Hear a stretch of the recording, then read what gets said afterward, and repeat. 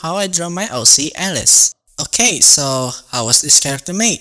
In my previous video, I received a few comments asking how I colored Alice's hair. Well, in this video, I'm going to show you how. In my last video, someone asked in the comments, how did you manage to have a blue and purple gradient on the background? Oh, like these? Here's my answer. Hey, welcome back to another video. And today I'm going to show how I draw my OC Alice. You want to find out? Before we start, who is Alice?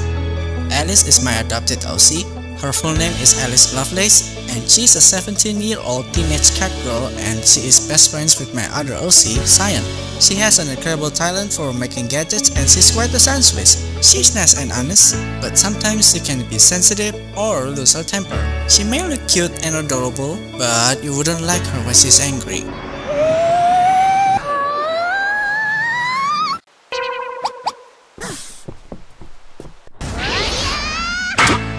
Anyway, she first appeared in my YouTube short animation called Cyan and Alice Roses for Valentine's. Happy Valentine's Day! Hey, what'd you get me? Oh, you didn't get the roses? Oh, let me send them again.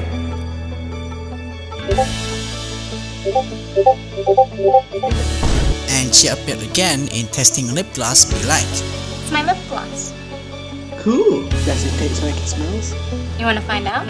If you haven't watched these animations yet, go watch them. You can check the links in the description below or simply click on the info cards above. Okay, so how was this character made?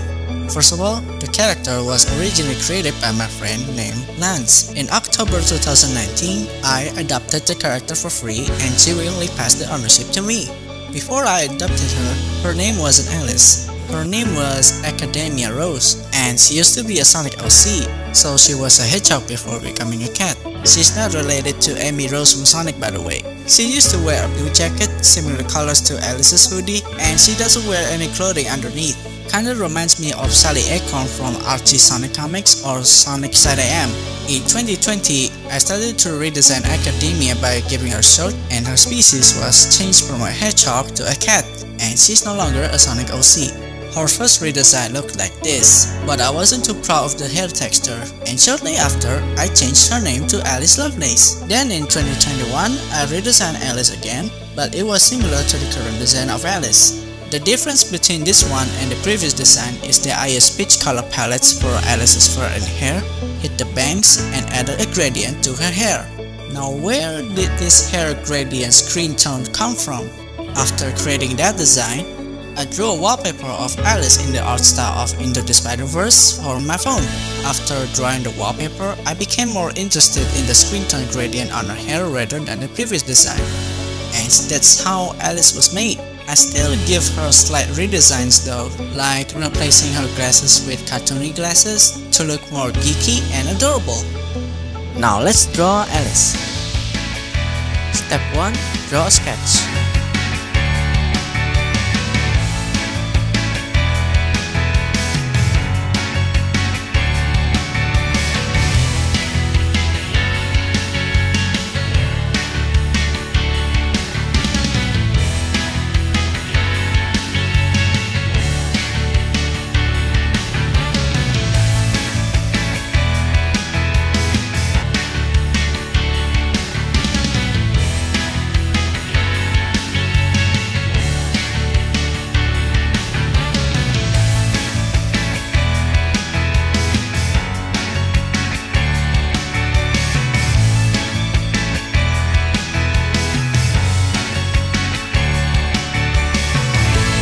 The sketch is finished. Let's move on to step 2. Draw the outline.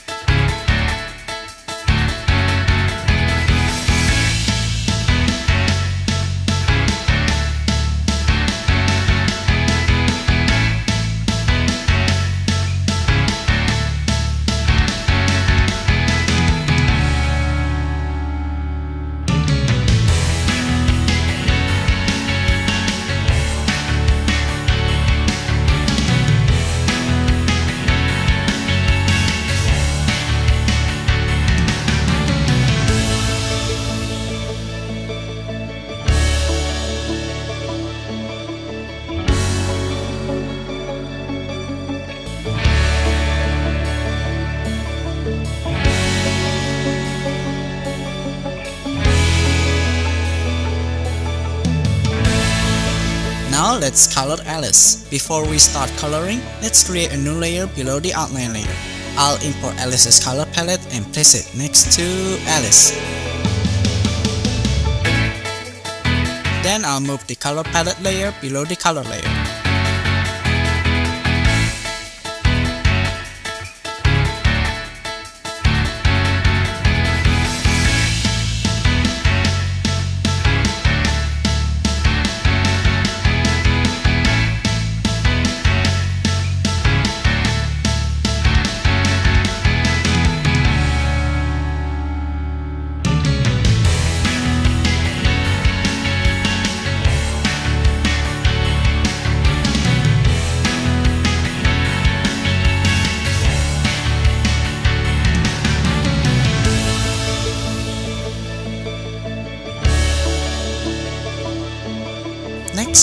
Color Alice's hair.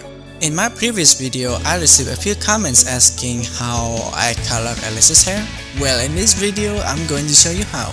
First, create a new layer above the fourth layer to color her hair. Fill the hair with peach color first. Add another layer. Press clipping upon blending mode, then switch to screen tone and select .L16. After that, we will add a gradient to her hair using black color with an airbrush. We can't use other colors because it will create dots underneath her hair. It'll look something like this.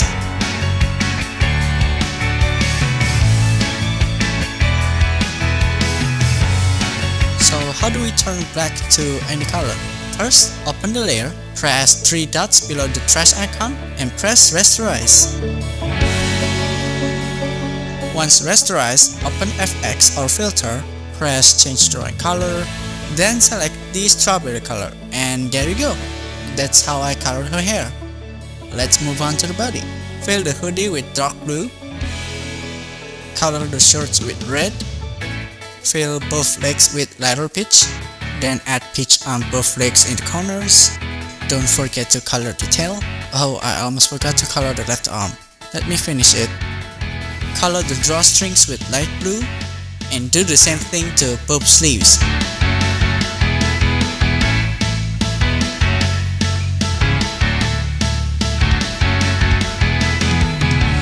Next, color the socks with white, fill the shoes with dark blue, light blue, and white. Lastly, add strips to the tail with strawberry color.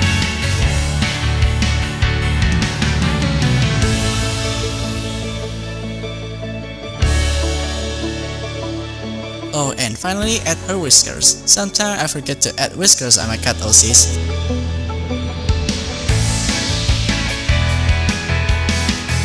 And we finished coloring Alice. Next, I will add shading and lighting, so enjoy watching while listening to non-copyrighted music in the background.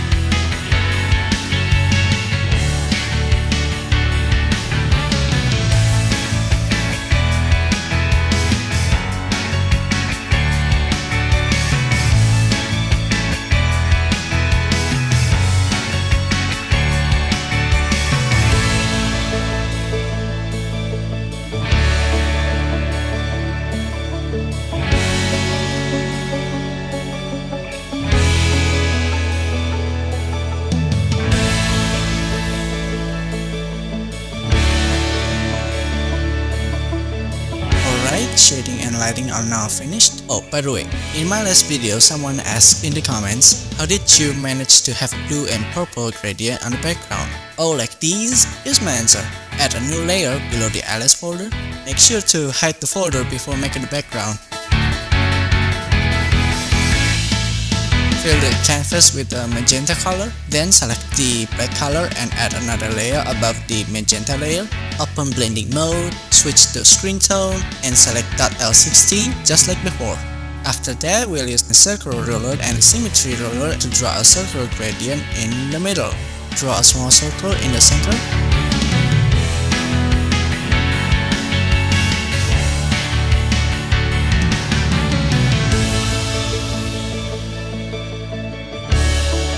Press rasterize and enlarge the circle.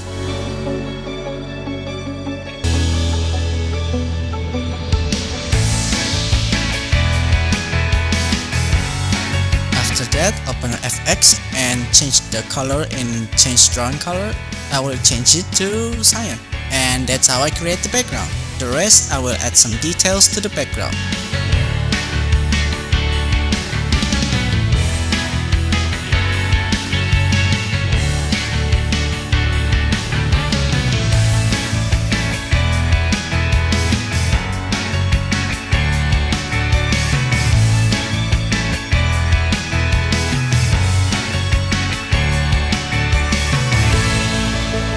It's finished. And that's how I draw Alice. If you find this tutorial helpful, feel free to like, share, comment, and subscribe for more videos. Thanks for watching.